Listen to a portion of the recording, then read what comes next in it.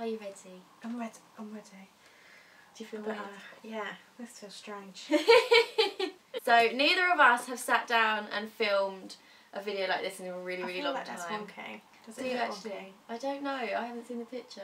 Should I have a look at the picture? You have a look. I didn't take a picture. No, I know, but as in like. No, I don't think it's wonky. Maybe it's my eyes. I think it's your eyes. It says it's not. Yeah, that's what I mean. But it. Okay. I think we're straight. We'll go again. We'll go again.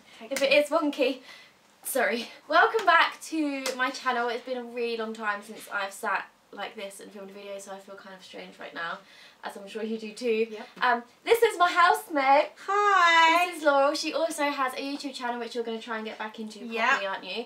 And you've just rebranded your blog, which I will link everything down below so you can go and follow this beauty as well. But we thought it would be good for us both to get back into filming together because it's been so long and just because it's fun to film with someone else. So here we are. And we thought we would do like a roundup of 2017 for us. And we're going to do like live things on my channel. And then after this video you can pop over to Laurel's channel. We're going to do like our favourite beauty products.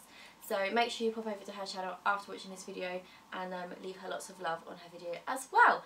But we'll just get straight into it because no one likes a rambler and I am You are you do definitely like a a rambler. ramble. You like a ramble. I do like a ramble. Right, so we've listed five things. Can I count? Yeah, Yeah, five. five. things um, that we've really liked. We've been really organised and we've written them down so that we know what we're saying. And yeah, we're just going to let you know what they are. So, do you want to go first? Okay. My album of the year, if you follow me on Instagram, it will be no surprise. My album of the year was Harry Styles' self titled album, Harry Styles. 100%. Um, I listened to it on repeat. It's the only CD that I actually physically own now because CDs Did you actually buy his I bought a CD. It's in my car. So if my phone ever gets no signal and I can't listen to music, I've still got a CD to listen That's to. love. So that that's sense, love. um, I I think my favourite song on it is "Sweet Creature," Mhm. but it's just because like I've seen him do some of it live, and I get to go see him this year do it all know. live. Yeah, that was my favourite Do you know what I'm really looking forward to about him being live though? I want to see what he's going to wear because he's been wearing really weird things. He does wear like the only thing that put me off when I went to see him at James Corden is he had a velvet suit on. I don't like don't like the touch of No, velvet, and I was like, velvet. if I ended up meeting him and then wearing that, I'd be like, I can't even hug you. You'd be like, no! I'd be like, I probably would. I probably would have, but I'd have been like You would walk away and be like, like oh. feeling like I'm gonna throw up on him. My favourite album this year has been Sam Smith's Thrill of It All. I've only I never really used to listen to music a lot. That sounds really weird and probably Yeah. shocks people, but I was more of like a film person and if I because I drove to work and stuff, I just listened to the radio, so I'd never download albums. But because of the tube, now I'm in London, it, you just have to have something to do. So I started downloading albums and Sam Smith's is the one that I have overplayed so badly. It is a good one. Isn't it? I can't remember the name of my favourite song. No Peace. No Peace. That's my fave. um, one last song. is my fave. I like They're that all so like good a good like like breakup. Yeah. Like I'm over you anthem. Oh, I've changed my TV show. Have you? Now that I've just said that. Oh, last minute decisions. Okay, that's fine. You're allowed to change Yeah. your mind. I just thought of it and I was like, why am I um, not saying that? It's gonna be no surprise to anyone, but Stranger Things is 100% at the top of my list for TV shows. We were obsessed. Yeah. We watched. How quickly did we watch the second In like season? a weekend. Yes, Literally so a quickly. weekend. We were like, we'll just watch one or two episodes and then we'll finish it like We wanted another to- time. We wanted to Yeah. spread it out to make it last Yeah. longer, but it just couldn't. There was too much like Bob, Ugh. like that. I think that was the episode when we were like, we need to watch the next episode, Yeah. and then it was that as they so. I think it's episode eight that everyone's like, don't bother watching it because it's like a filler episode. Yeah, it was really weird. I didn't like that. Episode. No, but that was like a Oh, good, strong binge watching It was. weekend. It actually was. Oh, Like, right. should we just watch the next one? Yeah. Should we watch the next one? It got to a point Yeah. where you were like, I need to go to bed because you had work Yeah, on I Sunday. and I was like, no, just one more. One more. It was when the clocks went back yeah, as well. that's So like, reason we got yeah. an extra episode, My favourite TV show, which you just changed. yeah, was 13 Reasons Why. Oh my god, yes. That's what just reminded me of I talking about completely Sam forgot Smith. about that. That's so Um, good. I read the book when it came out years ago. book? Yeah, it's originally a book. I think I've got it Oh. somewhere. You can borrow it. Thanks. Um, because the book is actually quite a lot different from the TV show. Because obviously they've You do that a lot, dramatised the TV show. Yeah, I know it was quite controversial to actually show a suicide Yeah. on a TV show because they never show it that graphic. But I liked the way that you got to know a bit more of the, each of the characters than from the book. Yeah. Because in the book you just read it from Clay's point of view. Oh, really? So you don't know, and you don't know any of the other characters' backgrounds, anything like that. And I'm excited to see where it's going to go, like Yeah. season two, because they're filming that. They're filming it now, aren't Yeah, they? That's another one that I watched really Yeah. quickly. it was really good. Yeah, Netflix is just the place to be, isn't it, for TV. They shows do good like that. Yeah. And I've had to pick this one because, don't get me wrong, I absolutely love the film, but it's also the only film that I went to see in the cinema last year. Yeah, I can't think of many films that I like to see. But yeah, my film is Dunkirk, which is a really good film. Yeah. Really, really good film. And I was really surprised. It's such a good cast, but everyone knows that Harry Styles is in it. And I was a bit apprehensive about it, and I was like, am I just going to sit there and see Harry Styles I thought he was only going to be in it for like a really a short, short, amount, amount, but he was actually like quite a big character in the whole thing. And he was so good. Like the whole cast is incredible in that film. It is such a good film. It's not the happiest of films, but if you need a good cry, you really want to like watch a film. Dunkirk is definitely one to do with that. I loved it. My film was Beauty and the Beast. Um, I went into it being like, oh, it's never going to be as good. Obviously, like quite a classic cartoon Mm. Disney film, and I find that's like one of the first films I think that I ever went to see it at the cinema. So I was like, oh, like I don't know. Yeah. So I went and I absolutely loved it because obviously like it's a beast. So I was like, oh, like is the How CGI going to be good? Um, but I loved um, Dan Stevens as the bass. That the guy that plays Gaston, I thought was like brilliant, Yeah. brilliant. And I also liked um, Josh Gad as uh, Gaston's mate. I've forgotten his name. Gaston's pal. Or like a, oh my god, what is his name? Le Fleu. Is that his name? Le Fleu? I feel like I'm making that up. Le Fleu. Le Fleu? Just because it sounds French. Le Fleu? It sounds like I'm trying to say the fluff. Le Fleu. Le Fleu? I'm going to put it out there. I don't like Emma Watson. Oh, see. Don't get me wrong, like she she is Belle. Yeah. Like literally she is Belle, but I just I don't know, there's something about her that I don't really like. But also, what I know say about Beauty and the Beast is why are they all speaking English if they're in France? They've all got true. English accents. They do all have English accent. That's so true. Like, why did they not just move it to But they did that in the cartoon. The cartoon they all had like an American accent. Yeah, but the cartoon you can kind of Zigander's dick. yeah, you can kind of, yeah. But oh, I forgot Ewan McGregor's in that. I love Yeah. Ewan McGregor. So I don't read a lot either. but when I'm on holiday, I do. And I went to Italy this year, as you'll know if you watch the vlogs. Wait, did I mention that in the vlogs? I went to Italy, if you didn't know. So obviously I took a book to read, and I read a book called I Let You Go by Clare Mackintosh. And I'm a massive fan of like a murder mystery or a thriller or a psychological book that like you really have to sit and read.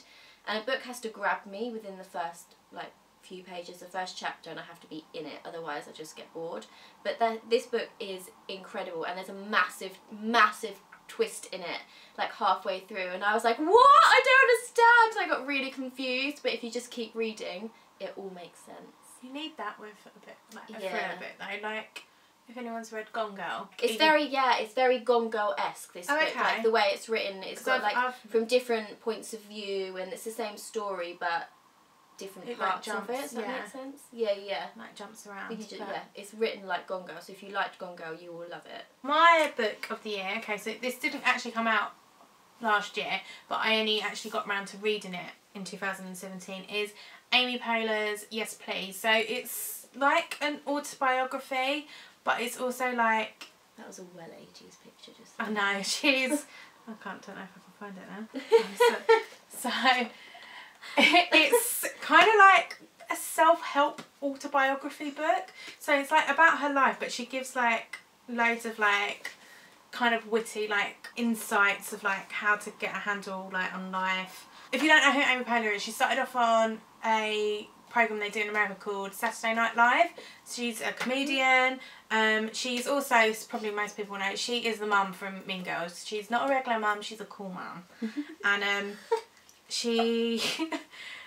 it's just really like insightful to see like I'm a big Parks and Rec fan that she's like the main character in. So it was like amazing to read like about how she come up with Parks and Rec and how her and Tina Fey like work to be like one of the f- first few like main female people on SNL because they only used to ever really have males on there. I've never read an autobiography. Never read an. No. Oh, it's, aut- autobiographies used to be like my jam, You're a jam. like when I was younger. Yeah. Like I remember reading Darcey Bussell's autobiography. Oh, I'd absolutely love that. No, but I love yeah, this is it's like really funny as well. Like I read, I read, I went to Tenerife in February, and I only went for four nights, and I read this and another book because this was so like it was so funny. Just couldn't put it down. No, I always tend to go for the ones that are just a little bit twisted and a little bit wrong. This is but I quite. do that with. I do that with like TV shows and stuff as well. Yeah. Like I love a murder mystery. Yeah, so because we're obviously on YouTube, we thought we should probably pick a favourite YouTuber of 2017, and yours is. Mine is Helen Anderson. Yes. So I've pretty much I think I only found her towards the beginning of last year. say, I haven't Like. I don't know how I found like whose channel I I think it might have been Gabby's that I found her through. I think she mentioned her on a on a vlog. Mm. And I was like, oh, let me like, I want more people to watch. And I think I watched um, one of her main channel videos. And her main channel so she has two channels, a main channel and a vlog channel.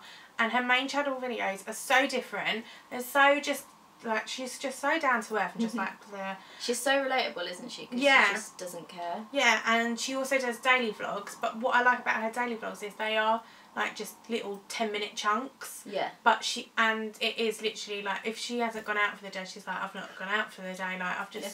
But she still manages to film it in like a really like nice way. Yeah, yeah. She's Like- really, really good at editing. I think that's what it is. Yeah, like- and she said like because she had a break over Christmas and she's only just started vlog daily vlogging again this week. And she said it was really weird to go about her life over Christmas, not thinking how can I film this. Yeah. Like, in a way, it's because she said that she's always thinking how can I film my day to make my day run from A to B for someone to understand it. That's a really weird thing that we probably don't think about, but vloggers do. They're like, Yeah. right, so today this is happening, right, so how can How I, do film I film that? this? But I think it's because we get up and go to work every day, and I'm like, I can't film that. But then even when I was doing weekly vlogs, I literally was just like, oh, I'll film a bit now. I didn't plan it out. yeah, but I think that's what not what It's makes why it's why a hers diff- looks so yeah, good, but yeah. why they're so cohesive and you know Yeah, yeah. what's happening. Even when things go to shit. Oh, can I swear on a channel? You can swear on my channel, I it's don't fine. know. oh, I don't know if we can anymore on YouTube though. well, I swore on my last vlog and nothing's come up. Oh, okay. Well, um, Touch wood. if things go to poop, we'll say, um, then she films it and she has shared like things that most people probably won't want their personal life aired out yeah. for people to know. My favourite YouTuber, because I like kind of stopped watching YouTube because I was filming so much last year. I didn't watch a lot. Because in my free time I was editing, or I'd be like, no, I just want to stay away from YouTube because I spend my life on it. But the person that I would always watch and I would never ever miss her vlogs was Gabby, so from Velvet Ghost, but her Gabriella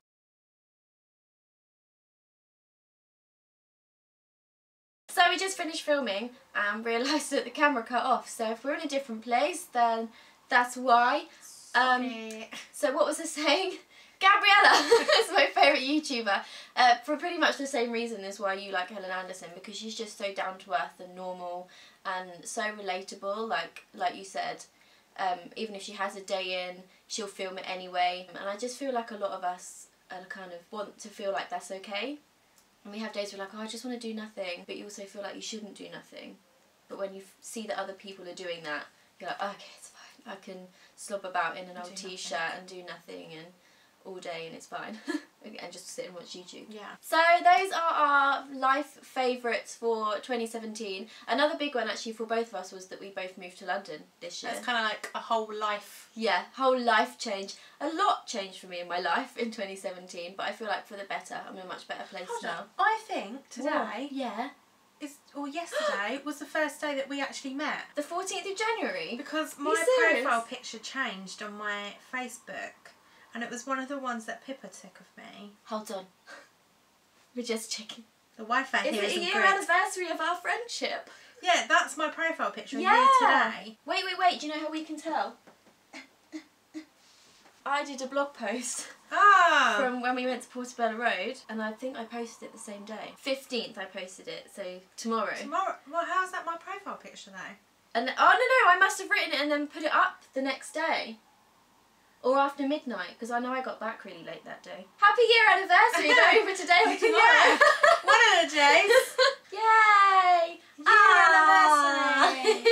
um, let me know in the comments your answers to the questions. So we had favourite album, favourite TV show, favourite film, favourite book, and favourite YouTuber. So let me know what your favourites were, and if you've had any other like big life changing events like we have this year, let me know what yours are as well, because I'm always really interested to know and reply to you and have little chit chats and stuff. So do that.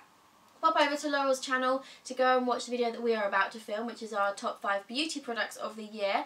And hopefully, I will see you very, very soon because we're determined to start filming again this year. So, Yeah. I love you. Bye bye.